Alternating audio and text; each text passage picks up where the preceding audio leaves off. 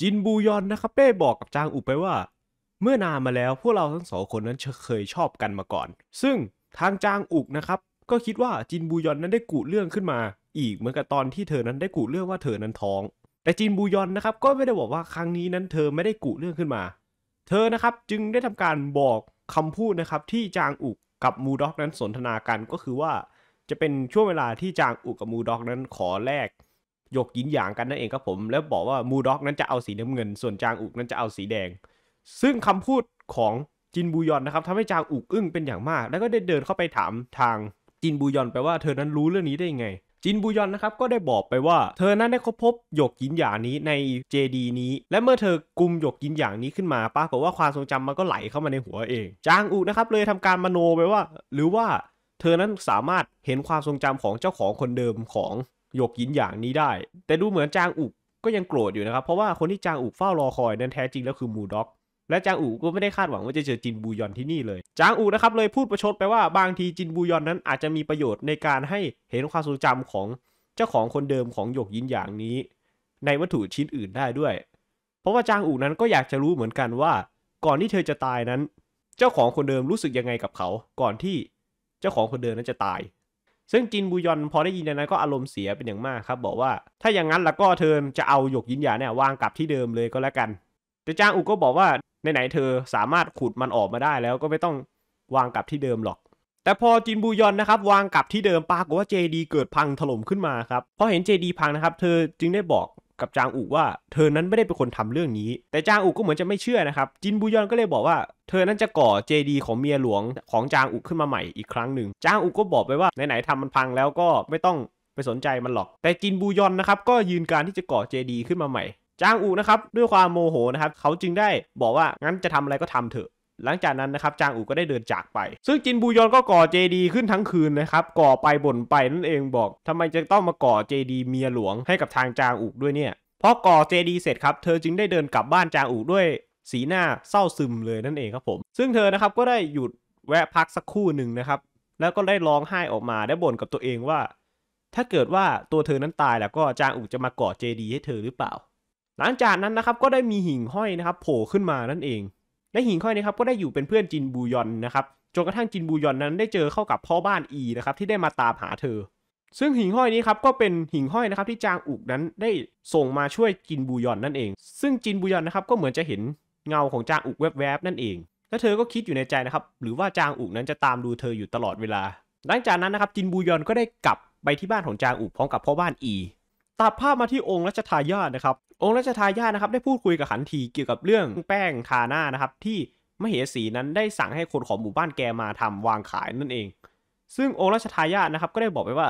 หากมีการเคลื่อนไหวเพิ่มเติมก็ให้รายงานเขาในทันที ประจวบมาะกับขันทีนะครับก็ได้กล่าวถามองค์รัชทายาทว่าองค์รัชทายาทซื้อเต่าอันนี้มาทำไม องค์รัชทายาทนะครับก็ได้บอกไปว่า ตอนอยู่ที่ร้านน่ะมีนักบวชหญิงสาวสวยคนหนึ่งนะครับได้ ทำการบอกเขาว่าถ้าเกิดซื้อเต่านี้มาแล้วก็จะช่วยเสริมสร้างบุญบารมี และดูเหมือนว่าเต่านี้นั้นจะเชื่อฟังคำสั่งของเขาอยู่เหมือนกัน ก็คือองค์รัชทายาทนะครับก็จะสั่งให้เต่านอนคว่ำนอนหงายอะไรว่าไปนั่นเองครับผม ตัดภาพมาที่ชายคนหนึ่งบนเรือครับ ซึ่งเขากำลังนอนอยู่ปรากฏว่าในระหว่างที่เขานอนนั้น เกิดมีเลือดไหลลงมาจากเพดานเข้าครับ เขารู้สึกตกใจเป็นอย่างมากจึงได้ขึ้นมาที่ด่านฟ้าเรือปรากฏว่าทุกคนนั้นได้ตายหมดเลย ซึ่งในขณะที่เขานั้นกำลังดูศพของผู้คนบนเรือนี่เองปรากฏว่าเขาได้เห็นอะไรบางอย่างครับ ซึ่งนั่นก็คือวิญญาณของเพชฌฆาตเงานักสู่ เขาจึงได้กระโดดลงเรือไปครับและได้ทำการเผยแพร่ข่าวกับชาวบ้านบอกว่าเรือเขานั้นถูกโจมตีโดยนักสู่ ตัดภาพมาในตอนเช้าครับซอยุนนะครับได้มาที่จองจินกักและได้พบกับจางอุกเข้า ซึ่งจางอุนะครับก็ได้ถามถึงอาการบาดเจ็บของซอยุน แต่ซอยุนก็บอกไปว่าตอนนี้อาการบาดเจ็บของเขานั้นก็ดีขึ้นแล้ว ซึ่งก็เป็นการโกหกนะครับซึ่งซอยุนนะครับก็ได้ถามจางอูไปว่าทำไมรู้สึกว่าที่จองจินกักนี่มันดูหนาวๆแต่ข้างนอกเสือกร้อนเฉยเลยจางอูนะครับก็ได้บอกไปว่า หรืออาจจะเป็นเพราะพลังของศิลาน้ำแข็งของเขาก็เป็นได้ เพราะว่าไปที่ไหนแล้วก็ ที่นั่นก็จะหนาวเหน็บ ซอยุนนะครับเลยขอให้จางอุกนะครับมากอดตัวเองเพื่อให้ความอบอุ่นนั่นเอง จางอุกก็งงไปอย่างมากครับ เฮ้ยอยู่ดีจะให้มากอดอะไรวะ ในขณะนั้นเองครับพักดังกูนะก็ได้เข้ามาพูดคุยกับซอยุนและทางจางอุกนะครับซึ่งทางพักดังกูนะครับก็ได้ถามว่าพวกเขานั้นกำลังทำอะไรกัน ทางจางอุกนะครับก็ได้บอกไปว่าเขานั้นกำลังพูดคุยถึงสารทุกสุขดิบกับทางซอยุนอยู่นั่นเอง พักดังกูนะครับจึงรีบบอกไปว่างั้นก็พูดคุยถึงสารทุกสุขดิบให้เสร็จเลยเพราะก่อนเพราะหลังจากนี้จะต้องไปลงนรกกันแล้ว เพราะว่าทางพักจีนนั้นเรียกไปกินอาหาร พอได้ยินดังนั้นครับทางจางอุกและทางซอยุนนั้นก็รีบบอกว่าตัวเองนั้นมีธุระและเตรียมที่จะลาจากในทันที แต่ว่าทางพักดังกูนะครับจึงได้ห้ามทั้งสองคนเอาไว้บอกว่า ถ้าเกิดว่าทั้งสองคนไปแล้วก็อาหารส่วนของทั้งสองคนอะ เขาจะต้องเป็นคนกินนะ ได้โปรดช่วยกันด้วย ทั้งสองคนนะครับเลยต้องใจอ่อนนะครับ ไปกินอาหารร่วมกันกับทางพักดังกูกับพักจิน ซึ่งพักจินนะครับก็ได้ทำขนมชิ้นใหม่ของเขามานั่นเอง นั่นก็คือขนมต๊อกที่มีทั้งหมด 3 ชิ้นด้วยกันครับ ซึ่งต๊อกนี้ครับจะเป็นการเสี่ยงดวงนั่นเองครับผม เพราะว่าต๊อก 2 ชิ้นนี้นะครับจะเป็นไส้น้ำผึ้ง ส่วนอีกชิ้นหนึ่งนั้นจะเป็นไส้น้ำปลา ลองเสี่ยงดวงดูว่าใครนั้นจะเป็นผู้โชคร้ายได้รับไส้น้ำปลาไปปรากฏว่าคนที่โชคร้ายนะครับก็คือทางจางอุกนั่นเองครับที่ได้กินไส้น้ำปลาไป แต่ว่าจางอุกนะก็สงสัยไปว่าซึ่งทางพักดังกูและทางซอยุนนะครับก็ได้สงสัยจึงได้ถามจางอุกไปว่าแท้จริงแล้วไส้ที่จางอุกกินนั้นมันไส้น้ำปลาจริงหรือเปล่า ซึ่งจางอุกก็ไม่ตอบนะครับ และในระหว่างนั้นเองทางพักจีนนะครับก็ได้สอนวิชาปรัชญาให้แก่พวกเขาในขณะที่กำลังกินตอกเสียงดวงนี้ด้วยนั่นเอง ในขณะนั้นเองครับพี่ซังโฮนะครับก็ได้เข้ามาหาทางพักจินซึ่งก็พบว่าทุกคนนั้นอยู่กันพร้อมหน้าเลยทีเดียว ทางซังโฮนะครับได้บอกกับทางพักจินไปว่า ชาวบ้านลือกันว่าวิญญาณผีนักสูนั้นกลับมาอีกแล้ว ได้ทำการไล่ฆ่าคนบนเรือ ประจวบเหมาะกับทั้งเมืองในตอนนี้ครับ ยันกันผีนักสูนี่ขายดิบขายดีเป็นเทน้ำเทท่าเลยเดียว ซึ่งหลังจากนั้นนะครับทางพักดังกูทางซอยุนและทางพี่ซังโฮนะครับก็ได้เข้ามาพูดคุยกันถึงเรื่องเกี่ยวกับนักซูนั้นได้แปลวิญญาณกลับมาอีกรอบหนึ่งซึ่งพวกเขาก็นะครับก็คิดว่านี่มันเป็นข่าวลือเลวไหลทั้งเพ แต่ถ้าเกิดคิดในอีกมุมหนึ่งล่ะก็ อีกไม่กี่วันก็จะครบ 3 ปีการตายของนักซูแล้ว และยังคิดอีกว่าจางอุกนั้นวันนี้ดวงซวยจริง ๆ ที่ยังได้กินต๊อกไส้น้ำปลาไม่พอ ยังต้องมาเจอข่าวเพชฌฆาตเงานักซูอีก ซึ่งพวกเขานะครับตัดสินใจได้สืบหาแหล่งที่มาของข่าวลือนี้ ตัดภาพมาที่มเหสีกับทางพระราชานะครับ แล้วก็อยู่ด้วยกันกับอาซอยุนด้วยนั่นเอง ทั้งสามคนนะครับก็กำลังคุยกันถึงเรื่องการกลับมาของเพชฌฆาตเงานักซูซึ่งทุกคนนะครับก็ได้พูดกันไปว่าก่อนที่นักซูน่ะจะกลายเป็นเด็กรับใช้ที่มีชื่อว่ามูด็อกน่ะหน้าตาเป็นยังไงยังไม่รู้เลย อะไรประมาณนี้นั่นเองครับผมตัดภาพมาที่ทางจินบูยอนนะครับที่กำลังเดินตลาดอยู่ตามปกติเธอนะครับก็ได้เห็นว่ายันนักซูนี้ขายดิบขายดีมากเลย ซึ่งในระหว่างนั้นเองครับก็ได้พบกับ เท่าแก่ของทางหอชวีซอนยูหอนางโลมนั่นเองครับผมที่มีชื่อว่าจูวอลนะครับก็ได้เดินมาทักทายทางจินบูยอน ซึ่งจูวอลนะครับก็ได้ทำการเหมายันกันผีนักซูนี้ไปจากหน้าแผงร้านเลยทีเดียว ซึ่งทางจูวอลนะครับก็ได้ทำการบอกกับทางจินบูยอนไปว่าผีนักซูกลับมาแล้วนี่จินบูยอนนั้นควรจะระวังตัวด้วยนะ เพราะว่า ผีนักซูนเป็นเมียหลวงอาจจะมาเอาชีวิตเมียรองอย่างเธอก็เป็นได้อะไรประมาณนี้นั่นเองครับผมจินบูยอนนะครับรู้สึกเหมือนจะไม่กลัวเหมือนกันนะ แต่ว่าจินบูยอนนะครับจึงได้สงสัยว่าทางจูวอนั้นรู้จักทางนักซูภรรยาเก่าของทางจางอุกด้วยเหรอทางจูวอก็ได้บอกไปว่า คนที่นางรู้จักนะเป็นแค่เด็กรับใช้คนหนึ่งเท่านั้น ไม่ได้เป็นเพชฌฆาตเงานักซูแต่อย่างใด และจูวอนะครับยังได้เชิญทางจินบูยอนนะครับไปที่หอนางโรมด้วยกัน เพราะว่าเธอนั้นมีเรื่องราวของนักซูภรรยาเก่าของทางจางอุกจะเล่าให้ฟังด้วย พอมาถึงหอชวีซอนลูนะครับปรากฏว่าองค์รัชทายาทก็ได้มาแวะจิบชาอบเชยที่นี่พอดี ซึ่งทางจูวอนะครับจะได้ขอตัวนะครับไปต้อนรับองค์รัชทายาทและบอกให้ทางจินบูยอนนั้นไปรออยู่ที่ห้องตรงข้ามเสียก่อนเพราะกับมอบยันกันผีนักซูนะครับให้จินบูยอนนั้นเอาไปไว้ที่ห้องนั้นด้วยเลย ระหว่างทางครับปรากฏว่าทางจินบูยอนนะครับดันได้พบกับคันทีโกเจ้าเก่านั่นเองครับผมคันทีโกนะครับก็เหมือนจะไม่รู้นะครับว่าคนนี้คือจินบูยอนแล้วก็เหมือนกับว่าทางจินบูยอนนั้นก็จะไม่รู้เหมือนกันว่า คันทีคนนี้นั่นคือองค์รัชทายาทโกวอนทันทีโกนะครับจึงได้ตั้งคำถามว่าแท้จริงแล้วนั้น เธอเป็นนักบวชหญิงที่ทำการขายยันใช่หรือไม่ เธอนะครับก็ได้บอกไว้ว่าอันนี้ทางเท่าแก่จูวอลนั้นฝากให้เธอเอาไปไว้ที่ห้อง และขันทีโกนะครับยังได้พูดกับทางจินบูยอนไปว่าเขานั้นได้ทำการซื้อเต่าไปแล้ว ถ้าเกิดว่าจินบูยอนนั้นอยากจะดูแล้วก็ เขานั้นจะพามาไว้ที่หอชวีซอนลูและให้เธอมาดูก็เป็นได้ จินบูยอนจึงได้ตั้งคำถามไปว่าขันทีโกนี่จะต้องตามองค์ราชทายาทไม่ใช่เหรอ ทำไมถึงใช้ชีวิตตามใจได้คันทีโกนะครับจะได้ตอแหลไปว่า องค์ราชทายาทคงไม่ว่าอะไรเขาหรอก ก่อนที่ทั้งสองคนนั้นจะแยกจากกัน ต่อมานะครับขันทีคู่ซีของทางองค์ราชทายาทนะครับก็ได้เข้ามารายงานว่าตอนนี้นั้นจางอุกได้ไปเข้าเฝ้าองค์จักรพรรดิไปไปที่เรียบร้อยแล้ว ทางองค์ราชทายาทครับเมื่อรู้เห็นนั้นจึงได้รีบวิ่งกลับวังในทันที ซึ่งตอนนี้ครับทางพระราชวังนะครับก็มีแค่ทางองค์จักรพรรดิและก็จินมูนะครับที่ได้คุยกับจางอุกซึ่งพวกเขาก็กำลังคุยกันว่า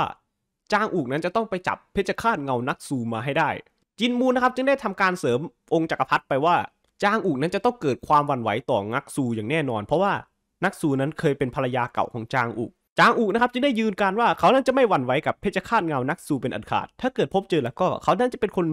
จัดการด้วยตัวเขาเอง ได้โปรดวางพระไถยและหลังจากนั้นนะครับจางอุนะครับจึงได้ขอตัวจากไป ซึ่งระหว่างจากไปนั้นก็ได้เดินสวนกับองค์รัชทายาทพอดีนะครับองค์รัชทายาทครับจึงได้ไปคุยตัวต่อตัวกับจินมูนั่นเอง ซึ่งทั้งสองคนนะครับก็ได้พูดคุยกันถึงเรื่องเพชฌฆาตเงานักสูซึ่งองค์รัชทายาทนะครับก็รู้สึกแปลกๆว่าทำไมจางอุจะต้องไปไล่จับผีนักสูด้วย ซึ่งทางจินมูนะครับก็ได้เปิดเผยต่อองค์รัชทายาทไปเลยว่านี่มันเป็นแผนของเขาที่จะให้จางอุนั้น ไล่ตามจับผู้แปลวิญญาณนักสู้ที่ไม่มีตัวตนต่อไปเรื่อยๆ และหลังจากนี้แล้วก็ถ้าหากว่ามีคนตายด้วยฝีมือของนักสู้แล้วก็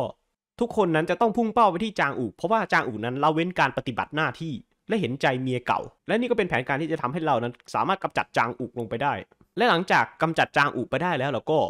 จางอุนะครับก็จะได้หลุดจากการเป็นเขยของจินโยวอนและพวกเราก็ได้ครอบครองจินโยวอนนั่นเอง ตัดภาพมาที่พี่ซังโฮกับทางซอยุนนั่นเองครับผมพี่ซังโฮนะครับได้ทำการบอกกับทางซอยุนไปว่า คนที่ทำการปล่อยข่าวเรื่องผีนักสู้นั้นมีชื่อว่ายองโกซึ่งยองกูนะครับและทำอาชีพขายของจิตปาถะนั่นเอง ซึ่งคาดกันว่าเขาน่าจะกุข่าวผีนักสู้เพื่อที่จะทำให้ขายยันกันผีนักสู้นั้นดีขึ้น แต่ซอยุนนะครับก็ได้ตั้งข้อสังเกตว่า แท้จริงแล้วยองกูคนนี้จะยอมเสียชีวิตว่ายน้ำข้ามทะเลสาบขยองชอนแดโฮในตอนกลางคืนเพื่อที่จะมาแจ้งข่าวผีนักสู้เพียงเพราะจะขายยันอย่างนั้นเหรอมันต้องมีเรื่องรับลมคมในอื่นแน่ๆเลย พี่ซังโฮนะครับจึงได้บอกกับทางซอยุนไปว่า ทางยองกูนั้นชอบไปเล่นพนันที่หมู่บ้านแกมาซอยุนนะครับเลยได้บอกไปว่าเขานั้นจะลองทำการสืบดู ซึ่งก็ได้รับการเฉลยนะครับว่าทางยองกู คนที่ปล่อยข่าวผีนักสูนั้นแท้จริงแล้วเป็นลูกน้องของโซอี ที่โซอีนะครับได้ทำการว่าจ้างมา ได้ทำการเผยแพร่ข่าวของนักสูนั่นเอง หลังจากที่โซอีให้ตังยองกูเสร็จแล้วนะครับ ก็ได้บอกให้ยองกูนั้นหนีไปให้ไกลจากเมืองหลวงเสีย แล้วก็ตัดภาพมาที่ทางจูวอกับทางจินบูยอนนะครับที่กำลังนั่งกินเหล้ากันอยู่ ซึ่งในขณะนั้นเองครับทางจูวอนะครับก็ได้ กินเหล้าและเกิดเมาขึ้นมาครับ แล้วก็ได้เล่าเรื่องราวของมูด็อกนะให้แก่ทางจินบูยอนฟัง ซึ่งจูวอนะครับก็ได้เล่าเรื่องราวประมาณว่า แต่เดิมอะนางชอบมากินเหล้าที่หอชวีซอนลูนี้ แล้วชอบห่อยักษ์กว่าขนมที่ทางจางอุกชอบนั้นกลับไปให้ทางจางอุกด้วย จินบูยอนเมื่อรู้ดังนั้นครับจึงได้ทำการหยิบยักษ์กวานะครับเตรียมที่จะนำกลับไปให้จางอุกด้วยเช่นเดียวกัน ซึ่งพอได้ฟังเรื่องราวมากขึ้นนะครับจินบูยอนก็ได้รู้สึกเกิดอาการหึงหวงอะไรประมาณนี้ขึ้นมาครับ และประจวบเหมาะกับที่หอชวีซอนลูนะครับหอนางโรมเจ้าเก่า ก็ทางคุณอาของซอยุนนะครับก็ได้ทำการมานั่งกินเลี้ยงนะครับกับเพื่อนๆของทางซอยุนนั่นเอง ซึ่งเพื่อนๆของทางซอยุนนี้ครับก็น่าจะเป็นจอมเวทของจองจินกักเดิมนั่นเองครับผม ซึ่งตอนนี้ก็อยู่ที่สำนักชอนบุกวันแล้วนะพวกเขานะครับก็ได้นั่งกินเหล้ากันนะครับจนกระทั่งนะครับมีเด็กรับใช้คนหนึ่งได้เข้ามานั่นเอง ทางอาซอยุนนะครับจึงได้ตั้งคำถามกับเด็กรับใช้คนนั้นไปว่าเท่าแก่จูวอตอนนี้อยู่ไหนเหรอทำไมไม่ออกมาต้อนรับพวกเขาเลย เด็กรับใช้นะครับก็ได้บอกไปว่าตอนนี้เท่าแก่จูวอลนั้นกำลังรับแขกอื่น นั่นก็คือจินบูยอนอยู่ ซึ่งอาของซอยุนนะครับเมื่อรู้เห็นดังนั้นนะครับจึงได้ทำการบอกกับหญิงรับใช้ไปว่า งั้นก็ช่วยไปพาจินบูยอนมาที่นี่หน่อยดีเขามีเรื่องที่จะคุยด้วย เพราะว่าอาของซอยุนนะครับก็เคยเป็นคนที่จะแต่งงานกับจินบูยอนนั่นเองครับผมประจวบเหมาะกับตอนนั้นนะครับทางซอยุนนะก็ได้เข้ามาหาทางคุณอาของเขา แล้วก็ได้ถามคุณอาไปว่า คุณอายังไม่ได้กลับไปป้อมซอโฮเหรอ คุณอานะครับก็ได้บอกว่า เขานั้นยังไม่กลับในเร็วๆนี้หรอก เพราะว่าเขานั้นมีงานที่จะต้องรับใช้มเหสีอยู่และหลังจากนั้นนะครับทั้งคุณอาแล้วก็เพื่อนๆของซอยุนนะครับก็ได้พูดจาลวนลามจินบูยอนขึ้นมานั่นเองครับผมเกี่ยวกับว่าทำไมจินบูยอนนั้นถึงไม่แต่งงานกับเขา ซึ่งซอยุนนะครับทนไม่ได้จึงได้ถามคุณอาไปว่า จินบูยอนก็มาที่นี่เหรอคุณอาของซอยุนนะครับก็ได้บอกไปว่าเขานั้นกำลังเชิญมา ซอยุนเมื่อรู้เห็นดังนั้นครับจึงรู้สึกโกรธเป็นอย่างมากและได้บอกไปว่า อย่าทำให้จินบูยอนน่ะต้องมาเสียมารยาทกับทางคุณอาเลย เพราะว่าการที่จินบูยอนมาอยู่ต่อหน้าทุกคนนะก็ มันก็จะเป็นการตอบย้ำคุณอาว่าคุณอานั้นไม่ได้ครอบครองจินบูยอนตัดภาพมาที่จินบูยอนครับเธอนั้นกำลังจะกลับบ้านนั่นเองป้าก็ว่าระหว่างทางในหอชวีซอนลูนะครับความทรงจำของเธอนั้นก็ได้กลับมาอีกครั้งหนึ่ง ซึ่งความทรงจำตอนนี้ครับก็เป็นความทรงจำตอนที่ทางจางอุกกับมูด็อกได้พบกันครั้งแรก แล้วก็ขอแต่งงานกันที่นี่นั่นเอง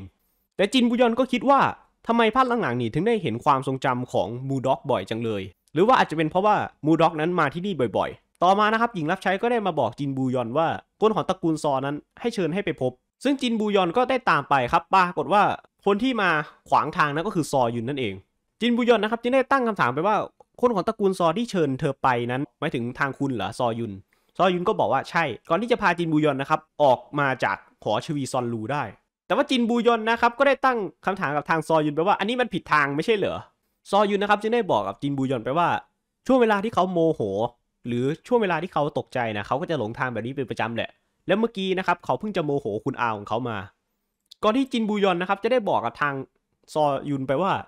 สุขภาพของซอยุนนั้นได้ย่ำแย่มากนะ เหมือนกับว่ามีอะไรบางอย่างในตัวของซอยุน ซึ่งซอยุนนะครับก็ได้ขอให้ทางจินบูยอนนั้นปิดเรื่องนี้เป็นความลับด้วย เพราะว่าเขานั้นไม่อยากให้ใครเป็นห่วง จินบูยอนนะครับก็เหมือนจะรับปากแบบไม่เต็มใจนักนะครับต่อมานะครับทางพักจินนะครับที่กำลังจะนอนแต่ปรากฏว่าห้องนอนของเขานั้นมีจางอุกนั่งเฝ้าอยู่นั่นเอง พักจินนะครับก็พยายามไล่ให้จางอุกนั้นกลับบ้านไปหาภรรยาของเขาเสีย จางอุนะครับจึงได้บอกไปว่าเขานั้นมีเรื่องไหว้วานพักจิน ถ้าเกิดว่าพักจินทำให้ได้แล้วก็เขานั้นจะยอมกินขนมฝีมือพักจินอีก 50 ชิ้นเลยทีเดียว พักจินเมื่อรู้เห็นดังนั้นครับก็ดีใจเป็นอย่างมากเขาก็บอกไปว่า มีเรื่องอะไรก็บอกมาได้เลยเดี๋ยวเขาจะไปทำขนมเดี๋ยวนี้เลย ตัดภาพมาที่ทางมเหสีกับทางองค์จักรพรรดินะครับมเหสีได้ทำการบอกไปว่า เธอนั้นอยากจะจัดงานเลี้ยงขึ้นนอกวัง เพราะว่าเดี๋ยวนี้นั้นเหล่าหญิงสาวนะครับเกิดกลัวนักซูขึ้นมา ธอจึงอยากจัดงานเลี้ยงนี้เพื่อที่จะผ่อนคลายบรรยากาศนั่นเอง ทางโอนจักรพรรดินะครับจึงได้ตั้งคำถามไปว่าก่อนหน้านี้นั้น เธอไม่คิดที่จะออกไปพบผู้คนไม่ใช่เหรอ แต่ทำไมตอนนี้ถึงอยากจัดงานเลี้ยงล่ะ มเหสีนะครับจึงได้บอกไปว่ามันก็ต้องมีการผ่อนคลายบรรยากาศกันบ้าง มเหสีนะครับได้ส่งจดหมายเชิญไปเชิญหญิงสาวหนึ่งคนนะครับจากตระกูลต่างๆมานั่นเอง ซึ่งทางจินบูยอนก็เป็นหนึ่งในนั้นครับโดยที่เธอนั้นได้รับเชิญในฐานะหญิงสาวแห่งบ้านตระกูลจาง ซึ่งเธอนั้นเป็นภรรยาของจางอุกนั่นเองครับผมเมื่อได้เห็นจดหมายเชิญนี้ครับแม่บ้านคิมก็รู้สึกดีใจเป็นอย่างมากครับจึงได้บอกไปว่า ครั้งนี้จะต้องแต่งสวยให้กับทางจินบูยอน เธอนะครับจึงได้ทำการสั่งชุดนะครับมาให้จินบูยอนลองเป็นจำนวนมากเลยนั่นเอง ซึ่งแม่บ้านคิมนะครับก็ได้บอกว่าเธอนั้นจะต้องลองแบบนี้อีกสัก 30 ชุดนะกว่าที่จะรู้ว่าชุดไหนสวยสุด ในขณะที่จินบูยอนกำลังเปลี่ยนชุดนี่เองครับแม่บ้านคิมนะครับก็ได้ออกมาข้างนอก และพ่อบ้านอีนะครับก็ได้เข้ามารายงานกับแม่บ้านคิมว่าตอนนี้นั้นจางอุกได้กลับมาแล้วแม่บ้านคิมนะครับจึงได้คิดที่จะไปหาจางอุกนั่นเอง แต่ปรากฏว่าครับจางอุกนะดันมาหาจินบูยอนนั่นเองครับผมซึ่งคนรับใช้ก็เหมือนจะรู้งานนะครับปล่อยให้ทั้งสองคนอยู่2ต่อ2เลย จางอุกนะครับได้ชมว่าชุดของจินบูยอนนั้นสวยมาก ซึ่งจินบูยอนนะครับก็ยังไม่หายเคืองจางอุกนะที่เหมือนกับว่าจางอุกนั้นน่ะได้ทิ้งเธอให้ก่อเจดีคนเดียว จางอุกนะครับจึงได้ขอดูแผลที่มือของเธอนั่นเองที่เกิดบาดเจ็บขณะก่อเจดีขึ้นมาปรากฏว่าแผลได้หายไปแล้วนะครับ แต่ว่าจางอุกนั้นก็ได้บอกไปว่าเล็บของทางจินบูยอนนั้นเกิดยาวขึ้นมาควรตัดเสียเถิด จินบูยอนก็สงสัยว่าเอ๊ะทำไมวันนี้มาแปลกว่ามาพูดคุยเรื่องเล็บ และจางอุกยังย้ำอีกว่าเล็บเนี่ยควรจะให้แม่บ้านคิมมันตัดให้ดีกว่านะ เพราะว่ามันเป็นของล้ำค่า และจางอุก็เหมือนจะรู้นะครับว่าจินบูยอนนั้นกำลังจะไปงานเลี้ยงของมเหสี ในขณะนั้นเองครับจินบูยอนก็ได้นึกขึ้นได้นะครับว่าจางอุกแท้จริงแล้วเป็นคนที่ส่งหิ่งห้อยนั้นมาให้แสงสว่างแก่เธอ เธอนะครับจึงได้ขอทางจางอุกไปว่า เธอนั้นขอพูดกับเหล่าสาวๆในงานหน่อยได้ไหมว่า แท้จริงแล้วนั้น เธอนั้นเป็นภรรยาของจางอุกก็คืออยากจะอวดอ้างนั่นเองครับบอกว่านี่ไงฉันเป็นภรรยาของจางอุกนะอะไรประมาณนี้ จ้างอุกก็เลยบอกไปว่าเธอนั้นไปคุยโวโอ้อวดได้ตามสบายเลย ซึ่งจินบูยอนก็ดีใจเป็นอย่างมากครับ ยิ้มดีใจทั้งวันเลยนั่นเองจนแม่บ้านคิมถามว่าวันนี้ดีใจอะไรเหรอซึ่งในขณะนั้นเองครับแม่บ้านคิมได้ทำการตัดเล็บให้จินบูยอนเสร็จพอดีนะซึ่งทางจินบูยอนนะครับก็ได้ตอบแม่บ้านคิมไปว่ามีหิ่งห้อยนั้นมาให้แสงสว่างแก่เธอ เธอเลยดีใจ และในตอนเช้านะครับแม่บ้านคิมนะครับก็ได้ห่อเล็บนะครับไปให้กับทางพักจิน ซึ่งเธอนะครับก็ได้บอกกับพักจินไปว่าเธอนั้นได้ทำตามคำสั่งของนายน้อยแล้ว พอแม่บ้านคิมกำลังจะกลับนั่นเองครับ ทางทางพักดังกูนะครับก็ได้เข้ามาหาแม่บ้านคิม ได้มอบกล่องอันหนึงให้แก่แม่บ้านคิมนั่นเองครับ แล้วบอกไปว่า อันนี้นะเป็นเครื่องประดับ เขานั้นอยากจะขอให้แม่บ้านคิมนั้นนำสิ่งนี้ไปให้ทางคุณหนูจินโชยอนหน่อยได้หรือไม่ และประจวบเหมาะตอนนั้นนะครับพักจินนะครับก็ได้ออกมาพอดีนะครับ เหมือนกับว่าพักจินนั้นกำลังจะแต่งตัวไปที่บางอย่าง แม่บ้านคิมนะครับก็ได้รับปากทางพักดังกูบอกว่า เธอนั้นจะนำของของพักดังกูนั้นไปให้คุณหนูจินโชยอนอย่างแน่นอน ตัดภาพไปที่องค์รัชทายาทนะครับ ทางขันทีคู่หูขององค์รัชทายาทก็ได้เข้ามาถามเขาบอกว่าเขานั้นจะไปงานเลี้ยงของพระมเหสีหรือไม่ องค์รัชทายาทนะครับก็ถามไปว่าจินบูยอนจะมาด้วยหรือเปล่า ทางขันทีนะครับก็ได้บอกไปว่าน่าจะมา องค์รัชทายาทนะครับก็บอกว่างั้นเขาก็ไม่ไปแล้วกันปล่อยให้ทางด้านนอกอะสนุกไปเถอะ เขาก็เลยนั่งดูเต่าต่อนั่นเองครับผม ตัดภาพไปที่ทางพักจินครับ ซึ่งเขาก็ได้มาหาทางจินโฮขยองนั่นเอง ซึ่งจินโฮขยองนะครับก็ได้พูดว่าที่นี่น่ะไม่ต้อนรับทางพักจินหรอก มีเรื่องอะไร พักจินก็ได้บอกไปว่าเขานั้นมาขอความช่วยเหลือ ซึ่งความช่วยเหลือนี้นั้น มันเกี่ยวพันถึงชีวิตของลูกสาวของทางจินโฮขยอง ซึ่งก็คือจินบูยอนนั่นเองตัดภาพมาที่งานเลี้ยงครับทุกคนนะครับมาแนะนำตัวต่อหน้ามเหสี ซึ่งคุณหนูจินโชยอนนะครับลูกสาวคนรองของตระกูลจินก็มาแนะนำต่อหน้ามเหสีด้วยพอถึงคิวจินบูยอนนะครับทางแม่บ้านคิมก็ได้แนะนำว่าจินบูยอนคู่มั่นของทางจางอุกทางมเหสีนะครับจึงได้บอกไปว่า ในเมื่อเป็นคู่มั่นกันก็ยังไม่ได้แต่งงานอย่างเป็นทางการ ทำไมถึงมางานเลี้ยงนี้ได้ เพราะว่าถือว่าจินบูยอนเป็นคนของบ้านตระกูลจิน และที่นี่เชิญมาเฉพาะครอบครัวละหนึ่งคนเท่านั้น ถ้าเกิดว่าจินบูยอนอยู่ที่นี่แล้วก็ก็ขอให้ทางจินโชยอนที่เป็นน้องสาวนั้นกลับไปเสียเถิด ซึ่งจินบูยอนนะครับจึงได้บอกไปว่า ถ้าเกิดว่ามีคนที่จะต้องกลับไปแล้วก็ขอเป็นตัวเธอเองจะดีกว่า แต่มเหสีนะครับก็ได้บอกไปว่า อ่าไหนๆก็มาแล้วก็อยู่ที่งานต่อไปแล้วกัน ซึ่งงานเลี้ยงนะครับก็ได้ดำเนินไปอย่างคึกคักเลยทีเดียว ตัดภาพมาที่ทางโซอีนะครับโซอีก็ได้พูดคุยกับลูกน้องของตัวเองว่าไอยองกู คนที่เราให้ไปปล่อยข่าวนักซูนี่มันยังไม่ไปจากที่นี่อีกเหรอทำไมมันถึงมันเล่นพนันที่นี่ ลูกน้องก็ได้บอกไว้ว่าผีพนันคนเข้าสิงมันแล้วครับเจ๊ในจังหวะนั้นเองครับพี่ซังโฮนะครับก็ได้เข้ามาหาทางยองกูพอดีนั่นเองครับผมพี่ซังโฮนะครับเตรียมที่จะจับทางยองกูไปสอบสวน แต่ปรากฏว่าทางโซอีนะครับ ได้สั่งให้ลูกน้องนะครับไปขัดขวางพี่ซังโฮเอาไว้ และฉวยจังหวะนั้นครับพายองกูหนีไป แต่ว่าทางโซอีนะครับก็ได้โดนจับได้โดยซอยุนนั่นเอง แต่ก็สามารถปล่อยทางยองกูให้หนีไปได้แล้วนะตัดภาพมาที่ในงานครับตอนนี้ครับทุกคนนะครับก็พยายามพูดนินทาทางจินบูยอนอยู่นั่นเองว่า เดี๋ยวผีนักซูนั้นก็จะมาฆ่าจินบูยอนนะครับด้วยความหึงหวงนั่นเอง และประจวบเหมาะกับคุณหญิงฮอยุนอกนะครับก็ได้เข้ามาหาทางจินบูยอนนะซึ่งเธอนะครับก็ได้พูดจาเกี่ยวกับว่าจางอุกนั้นทิ้งเธอ แต่จินบูยอนนะครับก็ได้บอกไว้ว่าตอนนี้นั้นเขาได้ให้ความรักอันยิ่งใหญ่แก่เธอแล้ว และจางอุกก็ยังบอกให้ทาง เธอนั้นมาพูดจาโอ้อวดต่อหน้าทุกคนด้วยว่าเธอนั้นเป็นภรรยา ซึ่งในจังหวะนั้นเองครับแม่บ้านคิมนะครับก็ได้ไปขออนุญาตทางมเหสีนะครับและบอกไปว่าทางจางอุกสามีของจินบูยอนนั้น ได้เตรียมดอกไม้ไฟจำนวนมากให้แก่จินบูยอนภรรยาของเขา ขอเชิญให้ทุกคนนั้นออกไปดูดอกไม้ไฟด้วยเมื่อทุกคนเห็นดังนั้นนะครับก็ดีใจกันเป็นอย่างมากครับที่จะได้ดูดอกไม้ไฟ ในขณะนั้นเองครับแม่บ้านคิมนะครับก็ได้บอกให้ทางจินบูยอนนั้น เดินออกไปที่สวนด้านหลังดู จินบูยอนนะครับจึงได้เดินมาตามคำสั่งของแม่บ้านคิมครับปรากฏว่าจางอุกได้มารอเธออยู่แล้ว ซึ่งจางอุนะครับก็ได้บอกกับจินบูยอนไปว่า การที่เธอมาที่นี่นะมันเป็นแผนการที่จะทำให้เธอนั้นถูกนักซูนั้นฆ่าตาย ทางจินบูยอนนะครับก็งงเป็นอย่างมาก นี่มันเกิดอะไรขึ้น จางอุกนะครับจึงได้บอกไปว่า เพื่อที่จะกำจัดนักซูแล้วก็เธอน่ะจะต้องตายตัดภาพมาที่จินบูยอนนะครับซึ่งตอนนี้ทุกคนนั้นกำลังดูดอกไม้ไฟกันอยู่ ซึ่งมเหสีนะครับก็ได้มองทางจินบูยอนนะครับที่ได้กลับมานั่งที่เดิม และก็ได้นึกถึงแผนการนะครับที่เธอนั้นได้วางร่วมกันกับจินมู ซึ่งจินมูนะครับได้วางแผนให้ทางจินบูยอนนั้นจะต้องถูกผู้แปลวิญญาณนักซูปลอมนั้นฆ่าตายท่ามกลางผู้คน แล้วก็จะทำให้ทางจินโยวอนนั้นสูญเสียผู้สืบทอดไป และจินโยวอนนั้นก็จะกลายเป็นของพวกเรา และประจวบเหมาะกับหนึ่งในคนที่มาเล่นดนตรีนะครับในงาน เธอนั้นได้ซ่อนดาบเอาไว้นั่นเอง เธอนั้นได้เดินดุยๆเข้าไปหาทางจินบูยอนเลยครับ โดยที่ไม่มีใครสังเกตเลยว่าเธอนั้นถือดาบอยู่ จินบูยอนที่เห็นดังนั้นนะครับจึงได้รีบวิ่งหนีมาตรงลานตรงกลางเลยนั่นเอง แต่ว่ามันก็สายไปแล้วครับ จินบูยอนนะครับได้โดนทางผู้แปลวิญญาณนะครับที่จะมาสังหารเธอนั้น ปาดาบจากระยะไกลนะครับฆ่าเธอตายในทันที และพอจินบูยอนนะครับโดนฆ่าเสร็จปุ๊บนี่ทางมเหสีนะครับก็ได้เป่าประกาศเลยบอกว่าผีนักซูนะครับได้มาเอาชีวิตจินบูยอนไปแล้ว และหลังจากนั้นครับผู้แปลวิญญาณที่ฆ่าทางจินบูยอนนั้นก็ได้หนีไป แต่ต่อมาไม่นานครับจินบูยอนตัวจริงนะครับก็ได้โผล่ออกมานั่นเอง แล้วก็ได้บอกกับทุกคนไปว่า คนที่โดนฆ่าตายนั้นไม่ใช่เธอแท้จริงแล้วจินบูยอนที่โดนฆ่าตายนั้น คือคุยซอ ทางคุณหนูจินโชยอนนะครับก็ได้ทำการอธิบายว่า คุยซอนั้นเป็นของศักดิ์สิทธิ์ในจินโยวอน ถ้าเกิดว่ามันได้กินเล็บของใครเข้าไปแล้วล่ะก็ มันก็จะสามารถสร้างร่างกายให้เหมือนคนคนนั้นได้ และจินบูยอนนะครับจะได้กล่าวเสริมอีกว่า ตอนนี้ทางผู้แปลวิญญาณที่ได้ฆ่าตัวเธอไปนั้นกำลังถูกสามีของเธอไล่ฆ่าอยู่ และจางอูนะครับก็ได้ทำการฆ่าผู้แปลวิญญาณนั้นต่อหน้าเหล่าประชาชนเลยนั่นเองและนี่และนี่ก็จะเป็นการปิดฉากผีนักซูไปโดยปริยาย ตัดภาพมาที่ทางโซอีครับ ซึ่งตอนนี้ทางซอยุนก็ได้ทำการสอบปากคำโซอีอยู่นั่นเอง ซอยุนนะครับก็ได้ถามไปว่า เหตุใดเธอจึงปล่อยข่าวผีนักซูซึ่งทางโซอีนะครับก็ได้บอกไปว่า เธอนั้นปล่อยข่าวผีนักซูเพราะว่าต้องการที่จะขายยันกันผีซึ่งซอยุนเองก็เหมือนจะไม่เชื่อนะครับแต่ซอยุนก็ได้เปลี่ยนคำถามไปว่าทำไมเธอจึงส่งยาไปให้เขาตลอด ก็ยังได้ถามโซอีว่าแท้จริงแล้วสิ่งที่อยู่ในตัวเขานั้นมันคืออะไรกันแน่ โซอีนะครับจึงได้บอกไปว่ายานั้นน่ะจะทำให้ทางซอยุนนั้นอาการดีขึ้น ถ้ากินบ่อยๆ ก็ไม่เป็นอะไร แต่ว่าทางซอยุนะครับได้เฉลยกับโซอีไปว่ายาที่เธอให้มานั้นน่ะเขานั้นไม่ได้กินเลย และตอนนี้เขาก็กำลังจะตาย ซึ่งโซอีเห็นดังนั้นครับก็ได้อึ้งเป็นอย่างมากครับ ตัดภาพมาที่ทางพักจินและทางจินโฮขยองครับ ตอนนี้นั้นวิญญาณของคุยโซนะครับที่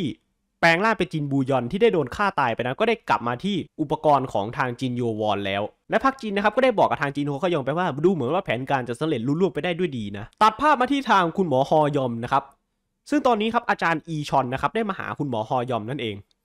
คุณหมอฮอยอมนะครับก็ได้บอกกับอาจารย์อีไปว่ารู้สึกดีใจมากเลยที่ได้เจออาจารย์เพราะว่าไม่ได้เจออาจารย์มาตั้ง 3 ปีแล้ว คุณหมอฮอยอมนะครับยังได้ถามกับอาจารย์อีไปว่าในช่วง 3 ปีนี้อาจารย์หายไปไหนมาเหรออาจารย์อีนะครับก็ได้บอกไปว่าเขานั้นไปช่วยชีวิตเด็กหญิงคนหนึ่งมา ซึ่งเด็กหญิงที่ว่านั่นก็คือจินบูยอนเขานั้นเป็นคนช่วยทำให้นางนั้นฟื้นขึ้นมา ตัดภาพมาที่จางอุกครับที่กำลังยืนอยู่หน้าผา เพื่อลำลึกถึงมูด็อกนั่นเองที่ได้กระโดดหน้าผาตายไป เพราะนี่ก็เป็นเวลาครบรอบ 3 ปีพอดิบพอดี ซึ่งจางอุนะครับก็ได้ร้องไห้ออกมาด้วยนะก่อนที่จางอูจะกลับไปที่บ้านครับพร้อมกับกินเหล้าแรงๆ ซึ่งจางอูนะครับก็กินไปด้วยร้องไห้ไปด้วยเลยนะและในขณะนั้นเองครับก็ปรากฏว่าทางจินบูยอนนะครับก็ได้เข้ามาหาเขา ซึ่งจางอุกนะครับไม่รู้ว่าเป็นเพราะเมาหรือว่าเป็นเพราะอะไรนะครับเห็นภาพหลอนว่าจินบูยอนนั้นเป็นทางมูด็อกนั่นเอง แต่ว่าจางอุนะครับก็เพ่งมองได้ไม่นานครับ ก็รู้ว่าแท้จริงแล้วคนที่มานั้นก็คือจินบูยอนจินบูยอนนะครับได้เข้ามาปอบจางอุนะครับแตะที่หน้าของเขาแล้วก็ได้ทำการกอดกันนั่นเอง ก่อนที่จางอุนะครับจะนอนท่ามกลางอ้อมแขนของทางจินบูยอน ซึ่งจินบูยอนนะครับก็ยังไม่หลับนะครับก็ได้ปอบจางอุไปเรื่อยๆ ต่อมานะครับจางอุก็ได้ลืมตาขึ้นมาครับแล้วก็ได้ดึงหน้าของจินบูยอนนั้นเข้ามาจูบ